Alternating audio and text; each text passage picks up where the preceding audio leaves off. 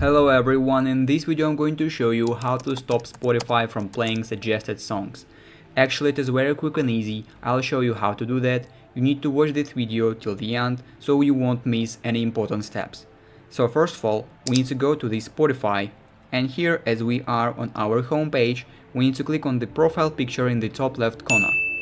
So we see this interface, here we need to click on the third button, settings and privacy, to go to the settings of the application. So now we need to search for playback option, this is the first option here, click on it. Here you need to scroll down these play playback options to the end and right in the end you will see autoplay similar content option. You need to turn it off in order to stop Spotify from playing suggested songs.